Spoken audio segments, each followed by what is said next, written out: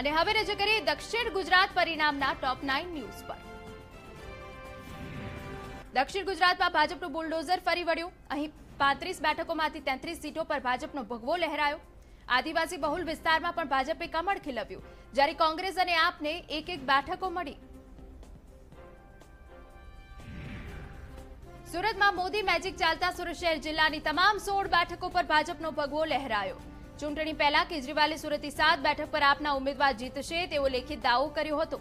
સુરતમાં ભાજપના વિજય પાછળ લોકો મોદી મેજિક ગણી રહ્યા છે. છેલ્લી ઘડીએ મોદીની સભા અને રોડ શોએ સુરતમાં ભગવો લહેરાયો.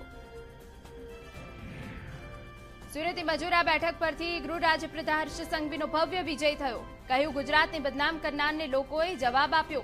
નફરતી રાજનીતિને દેશને તોડવાની રાજનીતિને લોકોએ બહાર કરી દીધા.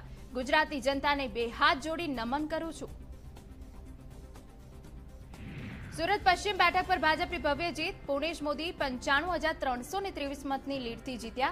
ભાજપના કાર્યકરોમાં ખુશીનો માહોલ, પુણેશ મોદીએ કાર્યકરો અને જનતાનો આભાર માન્યો.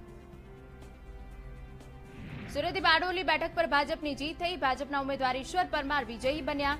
જીતનો શ્રેય જનતા અને પાર્ટીના કાર્યકરોને આપ્યો. સુરતમાં મહુવા બેઠક પર ભાજપના ઉમેદવાર મોહન ઢોડિયાની ભવ્ય જીત. મોહન ઢોડિયાએ વિરોધી ઉમેદવારથી એકત્રીસ હજારથી વધુ મત મેળવ્યા. જીત બાદ મોહન ઢોડિયાએ જનતાનો અને પાર્ટીનો આભાર માન્યો. નવસારીમાં ભાજપ ઉમેદવાર રાકેશ દેસાઈની જંગી બહુમતીથી જીત. રાકેશ દેસાઈએ મતદારો અને ભાજપના કાર્યકરોનો આભાર માન્યો.